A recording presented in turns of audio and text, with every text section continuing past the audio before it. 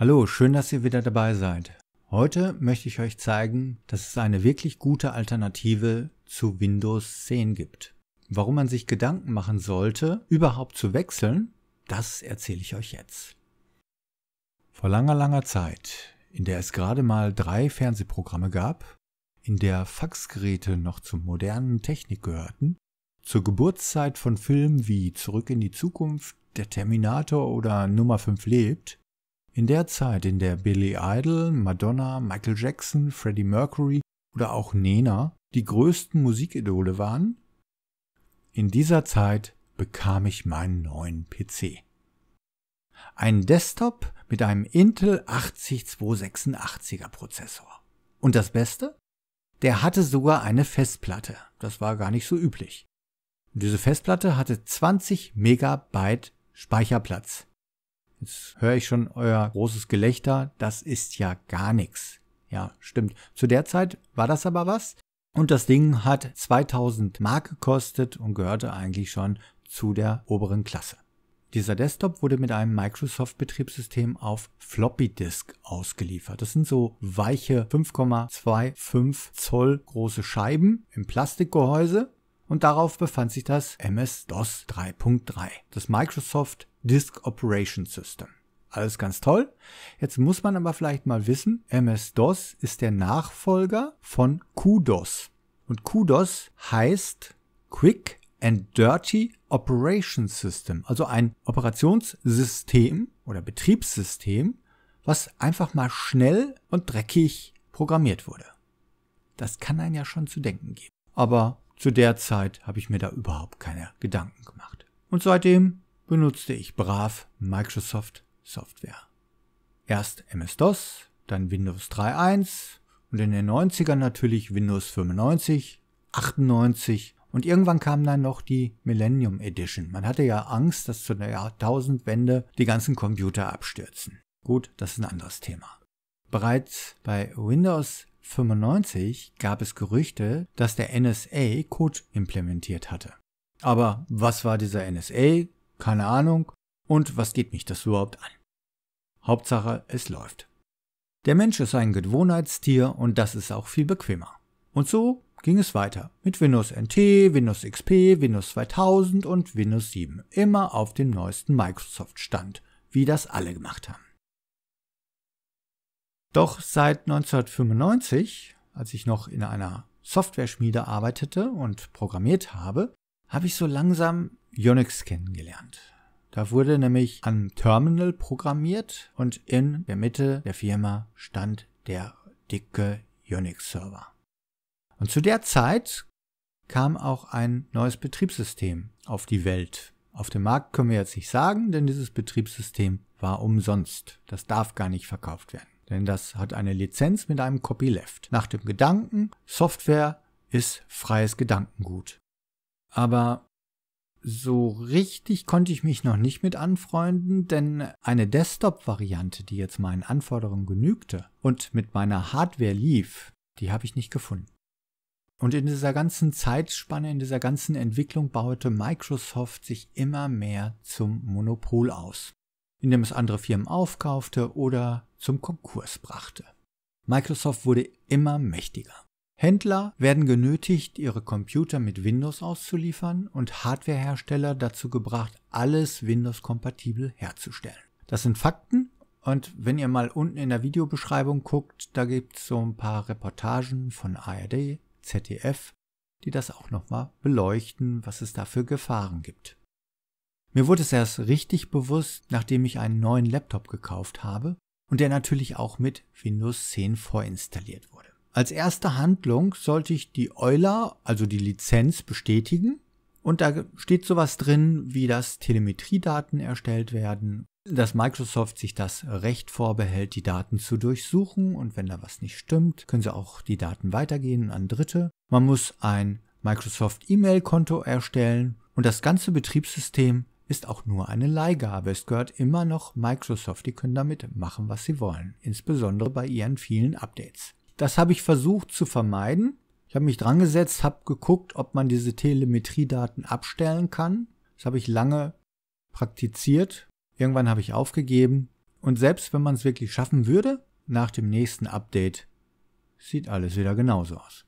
Jetzt gibt es wahrscheinlich böse Kommentare von den vielen Microsoft-Fans da draußen. Doch bevor ihr eure Hassmails losschickt, schaut euch wirklich mal die Videobeschreibung an. Da gibt es so ein paar Videos, die sollten euch auch zum Nachdenken bringen. Gut, manche können nicht anders, die müssen wahrscheinlich da durch, weil die Firma ihnen vorschreibt, wir müssen jetzt alles mit Microsoft machen. Auch die sind schon geknebelt. Dennoch möchte ich euch eine Möglichkeit zeigen, ein Betriebssystem von Linux zu installieren, wie einfach das ist und wie schnell das überhaupt geht. Das Einzige, was ihr machen müsst, ist, ihr braucht einen USB-Stick oder eine DVD. Ich habe jetzt hier Windows gestartet und das erste, was wir natürlich brauchen, ist ein Installationsmedium. Dazu öffne ich hier den Firefox und da bin ich schon auf der Seite linuxmint.com. Linux Mint wird zusammengeschrieben, seht ihr hier oben. Und da gehen wir in den Download-Bereich und dann habt ihr hier verschiedene Möglichkeiten an Oberflächen. Bei Linux gibt es eine ganze Menge an Oberflächen. Ihr könnt euch da mal so durchwuseln, was euch am besten gefällt. Ich habe jetzt hier als Betriebssystem noch Windows 7 und deswegen nehme ich mal eine Oberfläche, die Windows 7 sehr ähnelt. Und das wäre dann diese Cinnamon-Oberfläche. Ich brauche 64 Bit und dann klicken wir mal da drauf und dann können wir hier das herunterladen. Ich suche mir einen deutschen Server aus, am besten irgendwie eine Uni oder sowas. FH Aachen hört sich doch schon ganz gut an. Klicke ich drauf und da wird schon mein Download-Fenster geöffnet und wie wir hier oben sehen, ist das dann eine ISO-Datei. Datei speichern und OK. So, das braucht jetzt ein bisschen und hier mache ich einen kleinen Cut. Okay, das war's. Das dauert natürlich einige Zeit, je nachdem, was ihr für eine Internetverbindung habt. Ihr müsst ja nicht die ganze Zeit auf diesen dummen blauen Balken schauen. Trinkt euch ein Bierchen oder holt euch einen Tee. Im schlimmsten Fall macht ihr das nachts, lasst einfach euren Rechner über Nacht laufen. Jetzt schaue ich mir das mal an, wo die Datei ist. Dazu gehe ich hier auf diesen Ordner. So läuft das bei Firefox, aber bei anderen Browsern ist das ähnlich. Und jetzt bin ich im Ordnerverzeichnis und der hat das hier im Download-Verzeichnis von Windows 7 heruntergeladen. Aber ich brauche jetzt noch mehr. Ich zeige euch jetzt auch nochmal, wie man das mit einer herkömmlichen DVD macht. Also wir können ja auch bei vielen Rechnern noch über DVD-ROM booten. Und dazu empfehle ich euch CD Burner XP. Und hier gehe ich auch wieder auf Download. Auch hier haben wir verschiedene Versionen. Wahrscheinlich braucht ihr die 64-Bit-Version, also 64-Bit Setup und Datei speichern. Hier oben können wir uns das wieder anschauen. Ah, da ist er schon fertig. Hat gar nicht lange gebraucht. Ich gucke mir das noch mal im Ordner an. Ja, da ist unser Setup. Und durch einen Doppelklick auf die Datei werde ich das erstmal starten. Ausführen. Hier wird nach Administrationsrechten gefragt. Drücken wir einfach auf Ja. Gut, das lesen wir uns alles durch oder auch nicht. Ich akzeptiere die Vereinbarung auf Weiter und unter C-Programme wird das dann installiert, auch wieder auf Weiter. Die ganzen Sprachen, die brauche ich eigentlich nicht. Das Einzige, was ich haben möchte, ist Deutsch. Da müssen wir unter German gucken. Und wieder Weiter. Für alle Benutzer auch okay. Installieren. Und fertigstellen und das Programm starten lassen. Das schließe ich hier mal und so sieht jetzt das Startfenster aus. Ich habe den Browser verkleinert. Das scrollen wir einfach zur ISO-Image-Datei. Also ISO-Image brennen auf OK. Und dann sind wir schon mitten im Programm. Hier oben ISO-Image zum Brennen auswählen, gehe ich auf Durchsuchen und lade mir die ISO von meinem Linux Mint herein. Da habe ich sie schon. Jetzt gehe ich auf Öffnen und jetzt muss ich euch leider enttäuschen, ich habe hier im Moment kein Laufwerk angeschlossen.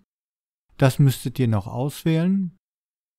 Dann hättet ihr hier noch die Brennmethode, das ist dann die Geschwindigkeit, Anzahl der Kopien könntet ihr noch einstellen, hier vielleicht noch einen Kompatibilitätstest und dann einfach Medium brennen. Ja, und das war's dann schon. Und hinterher habt ihr dann eine DVD, von der ihr booten könnt und damit Linux Mint installieren könnt So, und dann brauchen wir das auch schon nicht mehr. Ab in den Mülleimer. Jetzt schauen wir uns nochmal die Methode mit dem USB-Stick an. Da muss ich nach Rufus.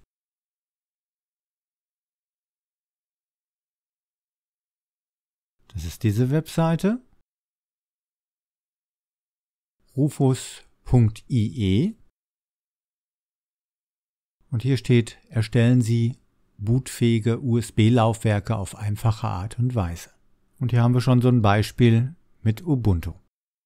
Jetzt müssen wir natürlich erstmal unseren USB-Stick einlegen. Vorsicht, die Daten werden alle gelöscht. Kontrollieren wir das mal kurz. Ich gehe auf den Explorer. Und da ist er auch, Wechseldatenträger E. Gut, USB-Stick ist drin. Jetzt laden wir einfach das Programm Rufus herunter. Hier ist mein Download-Bereich und ich gehe auf Rufus 3.8. Wenn da eine andere Versionsnummer steht, ist das auch egal. Datei speichern. Und auch hier wird wieder Rufus heruntergeladen. Das war auch nur sehr klein. Gehe auf meinen Ordner und da haben wir unsere dritte Datei. Auch das starte ich durch einen Doppelklick und wieder administrative Rechte bestätigen. Und da ist es schon. Auch jetzt werde ich hier wieder im Hintergrund erstmal alles andere schließen. Hier haben wir sofort unseren USB-Stick erkannt auf Laufwerk E. Hier habe ich die Startart. Dann gehe ich hier hinten auf Auswahl und da ist er auch schon wieder unter den Downloads meine ISO-Datei mit meinem Betriebssystem und öffnen. Jetzt durchsucht er das alles, hat hier sogar die Startart sofort hereingeschrieben und das ist eine bootfähige Datei. Hier könnt ihr noch das Partitionsschema eintragen. Hier steht er gerade auf MBR, Master Boot Record. Das ist das alte MS-DOS Partitionsschema. Und da könnt ihr auch GPT auswählen. Das ist dann für große Platten oder diesen ganzen UEFI-Standard. Das müsst ihr einfach mal ausprobieren, was ihr jetzt für einen Rechner habt. Wenn ihr etwas moderneres habt, dann würde ich GPT wählen. Und das sollte es eigentlich schon gewesen sein. Hier haben wir das Dateisystem, das lassen wir auf FAT32 stehen und die Größe der Zuordnungseinheit, das lassen wir alles so im Standardbereich. Steht hier schon fertig. Wir gehen aber erst auf Start im ISO Abbildmodus schreiben und OK. Jetzt kommt noch eine Warnung, nicht erschrecken. Das habe ich euch vorhin schon gesagt. Hier werden natürlich alle Dateien, die sich auf dem Stick befinden, gelöscht. Und OK. Jetzt löscht er die Partition, schreibt die MBR-Partition drauf, beziehungsweise auch GPT. Und jetzt wird partitioniert, das heißt, die Festplatte oder der Stick wird eingeteilt. Dann wird er formatiert. Jetzt wird er also vorbereitet für das Dateisystem. Und jetzt kopiert er sämtliche Dateien auf den Stick. Und fertig. Jetzt können wir das Programm schließen. Und wir haben unseren fertigen Boot-USB-Stick für Linux erstellt das Booten. Jetzt wird es unter Umständen etwas komplizierter, aber ihr solltet in jedem Fall wissen, wie ihr von einem anderen Medium, sprich DVD oder USB-Stick, booten könnt. Und nicht nur, wenn ihr ein neues Betriebssystem installieren wollt, nein, auch dann, wenn eure Festplatte den Geist aufgibt. Dazu ist ein Ausflug ins BIOS bzw. UEFI-EFI unerlässlich.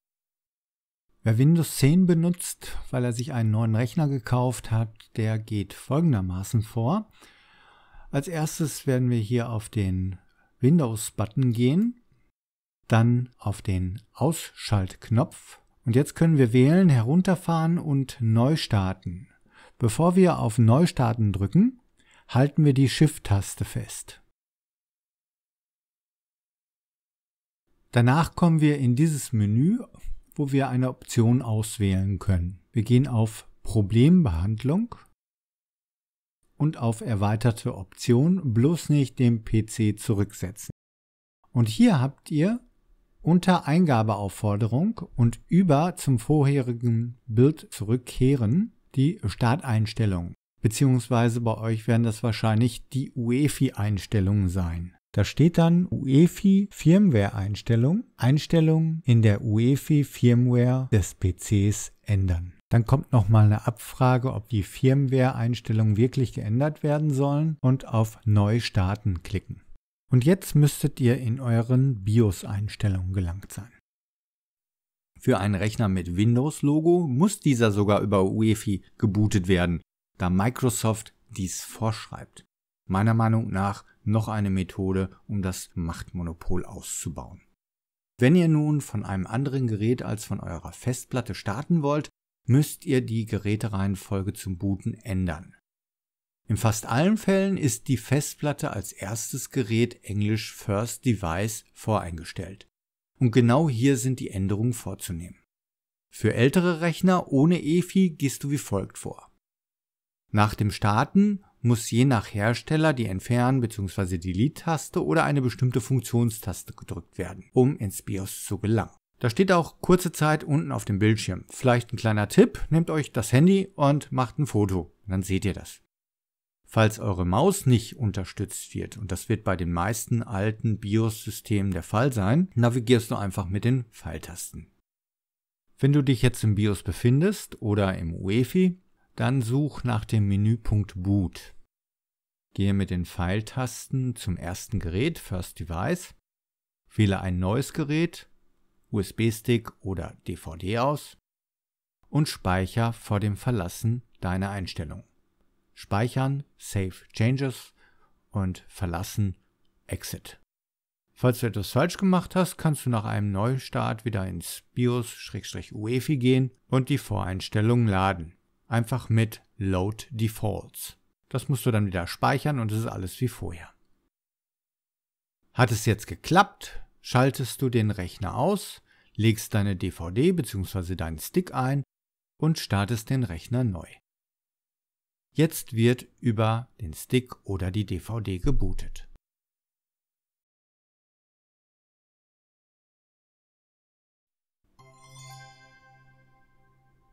Keine Panik, es ist noch nichts von eurem Betriebssystem verloren gegangen. Also alles, was ihr vorher auf eurem Rechner hattet, ist noch da in 1 zu 1 Zustand. Er hat jetzt nur den Bootstick benutzt, um damit eine Festplatte aufzubauen und ein gesamtes Linux Mint System. Testet es mit euren ganzen Komponenten, die ihr habt, mit dem Drucker, mit dem Netzwerk und, und, und. Ich hatte überhaupt keine Probleme, muss ich sagen. Es liefen sofort alle Geräte, alle Geräte wurden sofort erkannt. Auch proprietäre Treiber wurden erkannt, das heißt zum Beispiel Nvidia-Grafikkarten mit den Originaltreibern. Und hier unten haben wir einen Button, ähnlich dem Windows 7 Button. Hier finden wir die ganzen Programme. Auf jeden Fall können wir jetzt schon ins Internet. Hier haben wir einen Firefox, wir können sogar ein Office-System öffnen mit LibreOffice. Auch das ist vorinstalliert. Das wird dann hinterher alles schon nach der Installation drauf sein. Dann wollen wir mal die Installation starten. Da müsst ihr keine Angst haben, noch bleibt euer System erhalten. Ich gehe auf Deutsch, weiter. Hier auch wieder Tastaturbelegung Deutsch weiter. Und hier haben wir die erste Abfrage, sollen auch Sachen von Drittanbietern installiert werden können. Auf jeden Fall. Und an der Stelle steht jetzt nur bei mir Festplatte löschen und Linux Mint installieren. Wenn ihr das auch habt und diesen Schritt jetzt ausführt, dann ist alles weg, was auf der Festplatte vorher war. Normalerweise erkennt er es, ob ein Windows-System drauf ist oder nicht. Bei mir ist jetzt hier auf dieser Maschine, das ist eine virtuelle Maschine, keins drauf und deswegen kann er das Windows auch gar nicht finden. Aber in den meisten Fällen findet er das und dann könnt ihr hier sofort mit weitermachen. Andererseits könnt ihr auch noch auf etwas anderes gehen. Und wenn ihr ein bisschen Ahnung habt vom Partitionieren der Festplatte, dann könnt ihr eure Festplatte untersuchen und auch hier einzelne Partitionen einstellen. Also sogar eine neue Partitionstabelle erstellen und so weiter und so fort. Aber in dem Bereich braucht man vielleicht schon ein bisschen Erfahrung und man kann sich sehr vieles kaputt machen. Gut, dann gehen wir hier auf zurück und installieren Linux Mint unter dem ersten Punkt. Jetzt installieren. Hier kommt nochmal ein Warnhinweis, dass alles verloren geht. Weiter. Genau das will ich. Beziehungsweise ist die Festplatte sowieso leer. Ihr sucht ihr eure Zeitzone aus. Der steht schon auf Berlin, das hat er schon erkannt. Auf Weiter. Ich nenne das jetzt einfach mal Mint. Dann sagt der Name des Rechners, ich habe hier Mint VisualBox. Dann einen Benutzernamen eingeben, das könnt ihr natürlich alles ändern. Und hier das Passwort. Da meckert er, Passwort zu kurz, ich versuche es trotzdem mal. Und dann kann ich noch die Option auswählen, automatisch anmelden. Wir gehen mal auf Weiter. Obwohl er sagt, das Passwort ist zu kurz, macht das aber trotzdem. Linux bringt seine meisten Programme mit. Und hier könnt ihr euch das mal anschauen, was es da alles gibt. Hier haben wir Firefox, Netflix, YouTube. Dann haben wir natürlich die Möglichkeiten Spotify oder Rhythmbox.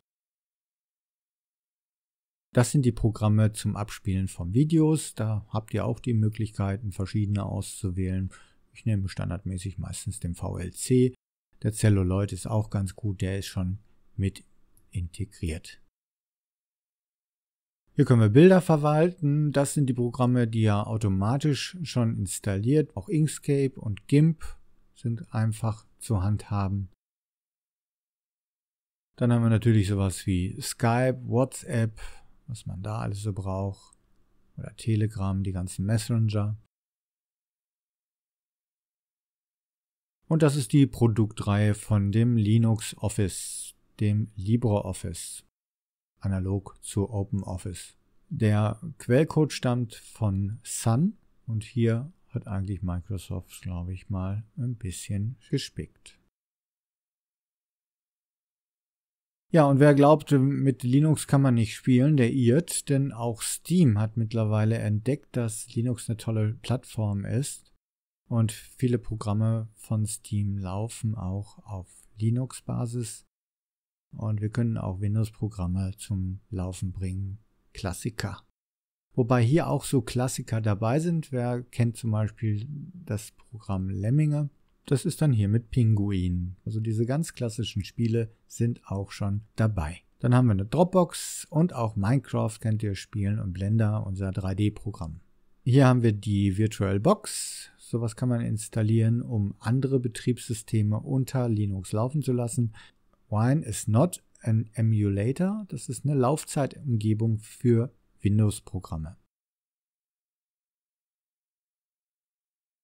Und hier haben wir unsere Arbeitsumgebung mit verschiedenen Desktops, das heißt hier übrigens Schreibtisch, das System aktuell halten, das geht auch wunderbar. Hier haben wir nicht bitte warten. Äh, Windows muss noch ihr System aktualisieren oder noch nicht herunterfahren. Da kriege ich wirklich mittlerweile die Krise. Wenn man das hier kennt, das braucht man nicht. Es bleibt dann überlassen, wann man die installiert oder ob man die überhaupt installiert. Da wird man zu nichts gezwungen.